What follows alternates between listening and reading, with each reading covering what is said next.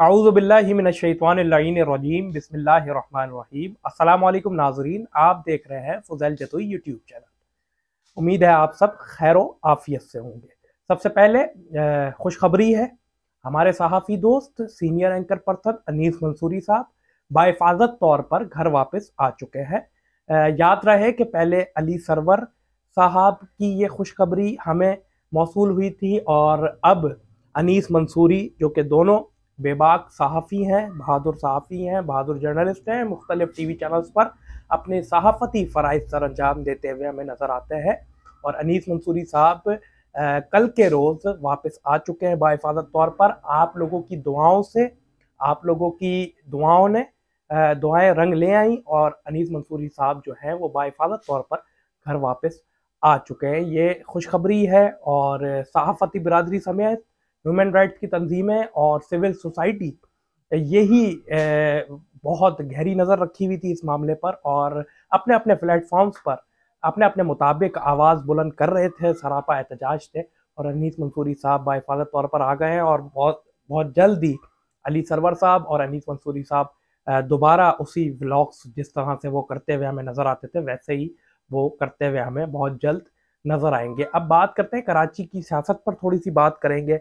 और कल जैसा कि सिंध की सकाफत का दिन था और कल की मसरूफियात के सबब व्लॉग वक्त पर ना रिकॉर्ड हो सका, ना अपलोड हो सका और जो कौमें अपनी सकाफत को भूल जाती हैं, वो तबाह व बर्बाद हो जाती हैं और कल जिस तरीके से हर किसी ने अपने अपने तौर पर सिंध में बसने वाले मुख्तलिफ़ ज़बानों ने, एक गुलदस्ते की मानंद हैं, सिंध में लोग रहते हैं मुख्तलिफ़ ज़बानों के, वो गुलदस्ते की मानंद हैं और सबने अपने अपने तौर पर सिंध के साथ इजहार यकजहती का इजहार किया, सिंध की सकाफ़त को उजागर किया और इस कौमी ईद को, कौमी कौस को भरपूर तौर पर मनाया।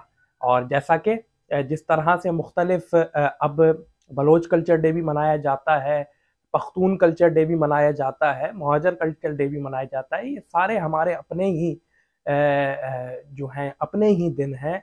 इन सब दिनों को हमें एक साथ मिलकर लिसाना, लिसानी फसादात को साइड पे करके एक दूसरे के साथ इजहार यकजहती करनी चाहिए और एक दूसरे के साथ शाना बशाना खड़ा होना चाहिए। और जैसा कि आपको पता है कि जो मुल्क की सियासत के डायनेमिक्स हैं, वो एक दूसरे को लड़वाना चाहते हैं जो मुख्तलिफ़ सियासतदान हैं वो एक दूसरे को आ, मतलब एक दूसरी ज़बान को लड़वा कर अपने ज़ाती मफादात हासिल करते हुए नज़र आते हैं। ये हिस्ट्री पचहत्तर साल पुरानी है हमारे मुल्क की और आप सारे समझदार हैं और बिलखसूस जो नौजवान नस्ल है उनमें शूर आ चुका है वो बेदार हो चुके हैं। उनको पता चल गया है कि कौन उनके साथ कितना मुखलिस है कौन सी पार्टी उनके साथ कितनी मुखलिस है।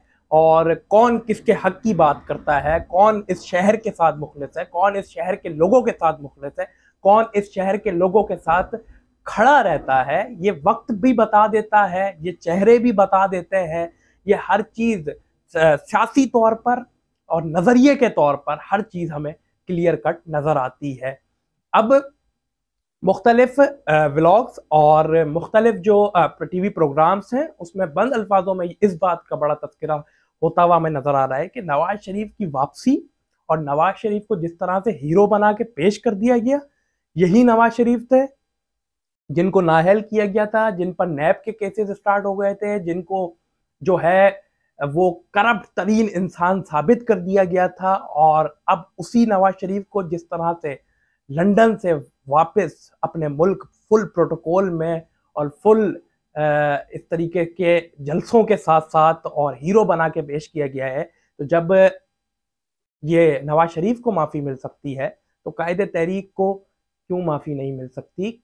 अगर उन्होंने, उनसे कोई बात हुई भी थी तो वो बारह माफिया मांग चुके हैं। ये प्रोग्राम में मुख्तलिफ़ एनालिस्ट, मुख्तलिफ़ जर्नलिस्ट, मुख्तलिफ़ एंकर पर्सन आपस में तजिया करते हुए नज़र आ रहे हैं। बारह माफ़ी मांगने के बाद भी उनको सियासत क्यों नहीं करने दी जा रही? उनके साथ ये ज्यादतियाँ क्यों हो रही हैं? गोया क्या ये डोमिसाइल का ही फ़र्क है? क्योंकि पंजाब के डोमिसाइल की ये तासर दिया जाता है कि पंजाब के डोमिसाइल की बड़ी वैल्यू है, जिसका पंजाब का डोमिसाइल है, वो इस मुल्क का मालिक है। बाकी सिंध के साथ जो ज्यादतियाँ होती हैं, सिंध के लोगों के साथ जिस तरीके से उनकी चार दीवारी का तकदस पामाल किया जाता है और सिंध के जो सियासतदान हैं, उनके साथ जिस तरीके से सियासी तौर पर पॉइंट स्कोरिंग की जाती है और सियासी सलूक किया जाता है और ऐसी पंजाब के सियासतदान जो है, उनके साथ वो सब कुछ नहीं होता। एक ताज़ा मिसाल है, जहाँ तक मेरा तजुर्बा है, आपने देखा होगा कि पीटीआई के खिलाफ ऑपरेशन स्टार्ट हुआ था, क्योंकि पीटीआई ने हमारे इदारों को तजलील का निशाना बनाया ट्विटर पर और जिस तरीके से उन्होंने खुलेआम तजलील की, उनके खिलाफ वो एक्शन नहीं लिया गया था, जो ऑपरेशन एम के खिलाफ किया गया था। और जिस तरीके से अगर किसी कारकुन को कोई कारकुन नहीं मिल रहा जिनको वो पकड़ने आए हुए तो उसके बाप को लेके चले जाते थे और जिस तरीके से उनको घसीट के लेके जाया जाता था, चार दीवारी का तकदस पमाल किया जाता था। ये हम जैसी गुनागार आँखों ने उस ऑपरेशन को देखा है, उस तरह से तो इनके खिलाफ कोई क्रैकडाउन नहीं हुआ, क्योंकि बदकिस्मती से हमारा डोमिसाइल सिंध का है, उनका डोमिसाइल पंजाब का है। तो ये जो पिचहत्तर साल तारीख है हमारे मुल्क की, कि पिचहत्तर साल बाद भी ये तासुब ख़त्म नहीं हुआ, पिचहत्तर साल बाद भी हर सूबे की एक ही वैल्यू होनी चाहिए, जब सिंध सूबा जो है वो पूरे पाकिस्तान को चलाता है। सिंध का दारुल खिलाफा कराची पूरे पाकिस्तान को चलाता है, लेकिन फ़र्क है, फ़र्क रखा जा रहा है। फ़र्क कौन रख रहा है? फ़र्क कौन पैदा कर रहा है? फ़र्क किनके दिलों में है? ये सब वाज तौर पर जानते हैं। हम अगर बोलेंगे तो हम भी फिर शायद गायब हो जाएँगे। हम अगर बोलेंगे तो फिर शायद हम भी मुख्तलिफ़ प्रेशर्स का सामना हमें भी करना पड़ेगा। हम अगर बोलेंगे तो फिर हमारी भी फैमिली को थ्रेट्स किया जाएगा और जिस तरीके से हमारी ज़मीन तंग करने की कोशिश की जाएगी, जबकि ये तो आपने देखा है कि किस तरीके से सहाफ़ियों के साथ होता हुआ नज़र आ रहा है। ये मुल्क की तारीख में और ये तारीख रकम हो चुकी है, एक एक चीज़ वाज तौर पर नज़र आ रही है हम सबको।